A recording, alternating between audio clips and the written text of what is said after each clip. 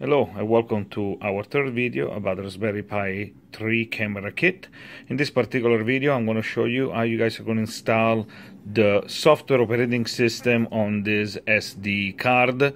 Uh, to uh, the the kit comes preloaded with the software already inside, but I'm going to show you how to reinstall it in case you need to. What you're going to need is a computer, laptop, or desktop that has an SD card reader in. The card is a micro SD, so it fits inside this adapter that comes with the kit. Okay, so we're going to insert the SD card into my laptop. And for the next portion of the video, I'm going to relay on my laptop. Hello again. Once the card is inserted into your computer, either Mac or PC, it will appear in the list of hard drive available for you to use. The first thing that I strongly recommend you do is to format the SD card. I myself use a particular software called SD Formatter. I will have a link into the description of this video and it works for both PC and Mac. And you can choose the option to quick format and you'll also be able to give it a name to the SD card. Once the SD card is formatted and you appear back on your desktop, next thing you're going to do is going to the Raspberry Pi uh, website. You will click downloads. You will select the Noobs operating system. It's the easiest installation for new people and also work very well with Raspberry Pi. And you're going to select the zip format to download. Now the file is pretty large, it's about one gig in size, so it's going to take some time to download. I already downloaded the software and moved the file on my desktop. Right here. You want to unzip this particular file. Once you unzip it, another folder will appear on your desktop or folder where you have the zip file. Uh, in regard to type of software to use for unzip, the Mac comes with archive utility. For PC, I really like 7-zip. It's a wonderful utility.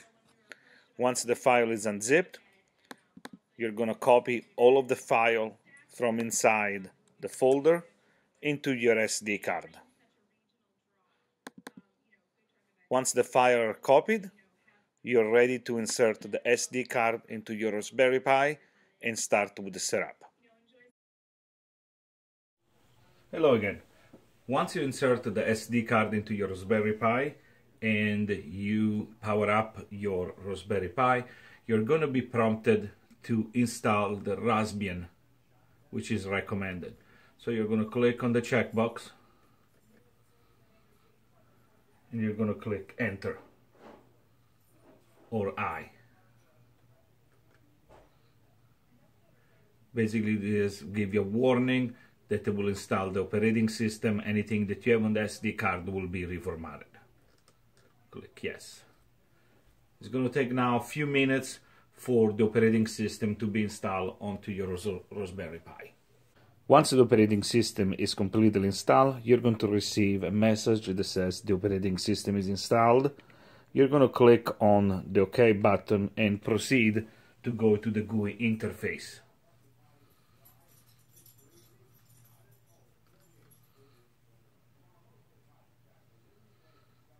This time the operating system will reboot.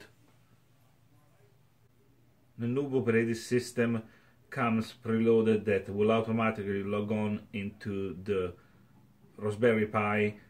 The username is Pi and the password is Raspberry. These are default username and password.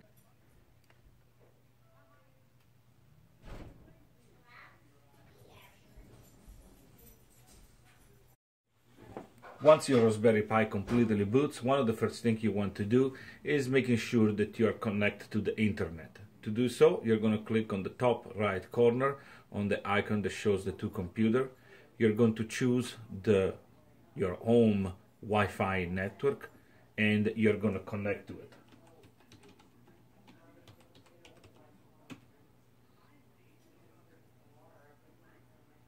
Once it connects, one of the first things that you want to do is to make sure that your Raspberry Pi has the latest updates and if there is need of any upgrade. To do so, you're going to open your command prompt or terminal.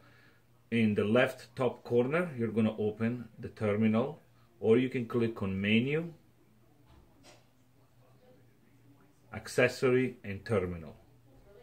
Let's click on the terminal.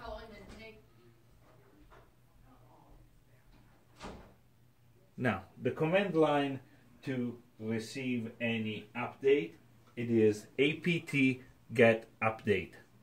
But to make sure the command works, we're going to type in sudo space apt dash get update.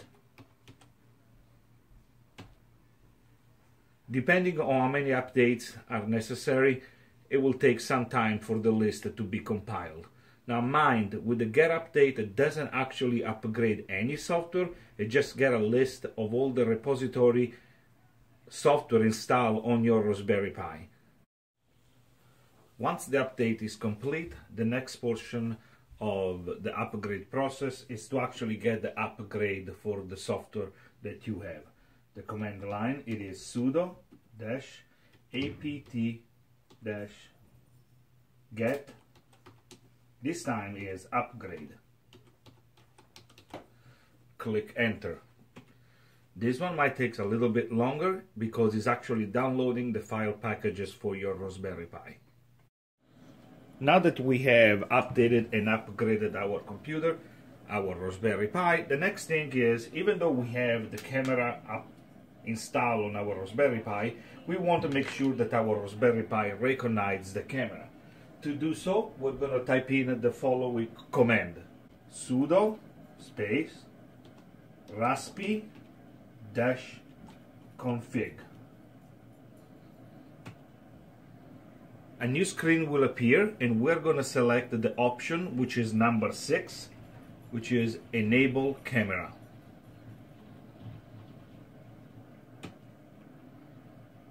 We're going to click enable we're going to scroll back down. Tab to finish.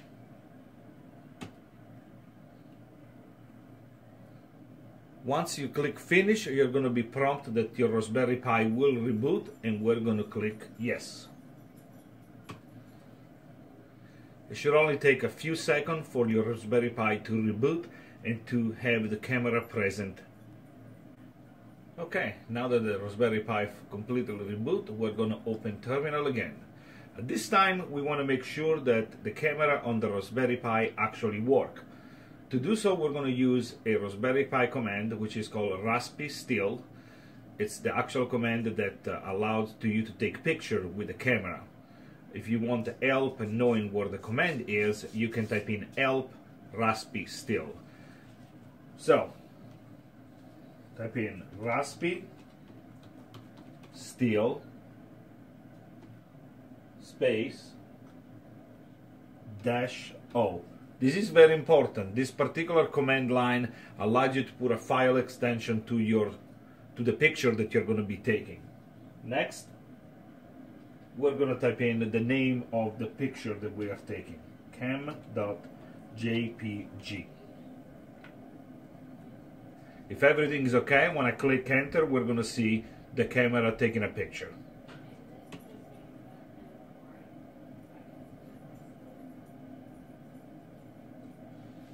Here we go. So the camera took a picture. Now we're going to go to our file manager and you're going to see that it installed the camera in the main root folder of our Raspberry Pi. And here the camera that the camera took just a few seconds ago. So in this particular video I show you how to install the Noobs operating system onto your Raspberry Pi, perform a system update and system upgrade. We also have enabled the camera and we have taken our first picture with the newly installed Raspberry Pi camera.